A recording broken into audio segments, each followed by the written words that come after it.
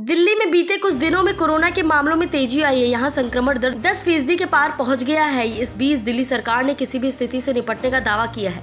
दिल्ली के स्वास्थ्य मंत्री सौरभ भारद्वाज ने कोरोना, इन्फ्लुएंजा या फ्लू के लक्षण दिखने पर लोगों को मास्क लगाने की सलाह दी है।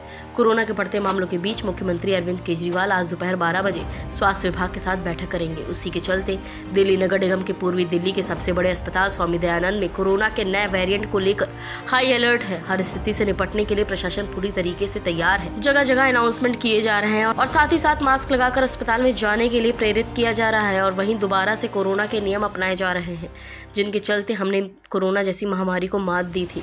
अस्पताल में फार्मेसी के प्रांगण में जहाँ सबसे ज़्यादा भीड़ होती है, वहाँ लगातार अनाउंसमेंट कर लोगों को कोरोना के प्रति जागरूक किया जा रहा है। दो गज की दूरी मास्क है ज़रूरी, इत्यादि बातें कराई जा रही हैं, जिससे लोगों में जागरूकता आए और आसानी से कोरोना को मात दे सके। आज बात करेंगे नगर निगम के स्वामी दयानंद अस्पताल के सीएमओ डॉक्टर गैलेबिन त्यागी से।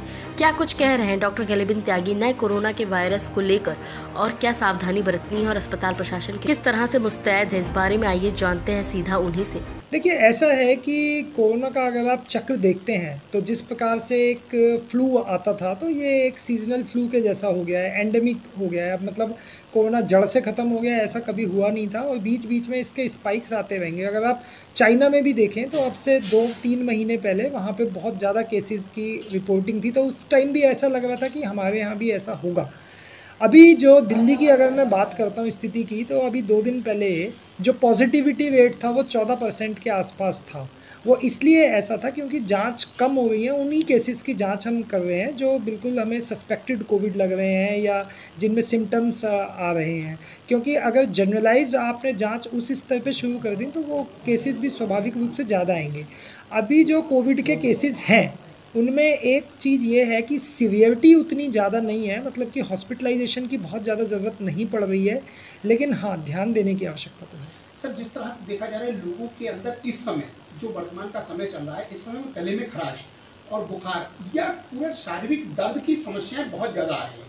तो क्या इस, इसको क्या माना जाए? देखिए, इस बार जो वेरिएंट है क्योंकि ये एक वायरल इन्फेक्शन है और वायरस अपना प्रारूप चेंज करता रहता है। तो हर वायरस एक अलग प्रकार का इन्फेक्शन करता है। अब की बार जो लोगों में ज़्यादा शिकायत है, वो गले खराश की, बुखार की, बदन जैसा आपने बताया इसके साथ लूज़ मोशन काफ़ी सारे केसेस कोविड जो पॉजिटिव आ रहे हैं, वो लूज़ मोशन की शिकायत लेके आ रहे हैं, और एक केस जो मैंने स्वयं देखा, उसको तो इलेक्ट्रोलाइट इम्बेलेंस होकर सीज़र तक भी आए।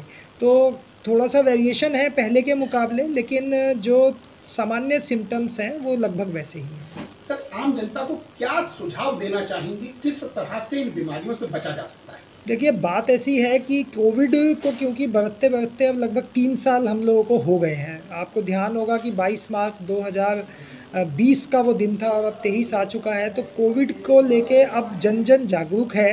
बस एक ही बात ध्यान रखनी है, सावधानी।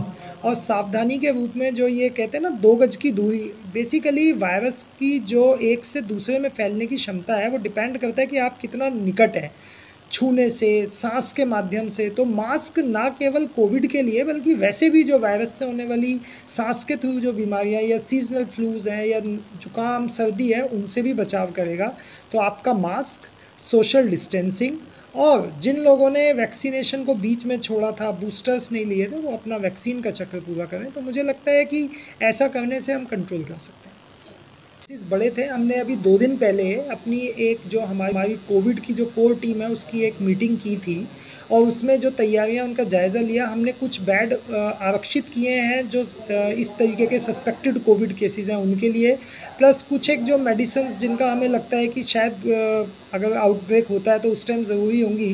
वैसे वे हैं हमारे पास, लेकिन फिर भी हमने उनको फर्दर और मंगाने की कवायद भी शुरू कर दी है। और जो ट्रेनिंग एक स्टाफ को देनी होती है स्पेशलाइज ट्रेनिंग उसके लिए भी रोस्टर्स वगैरह बना दिए तो हमारी तरफ़ से तैयारी है। सर क्या आइसोलेशन बेड अलग से तैयार किया गया?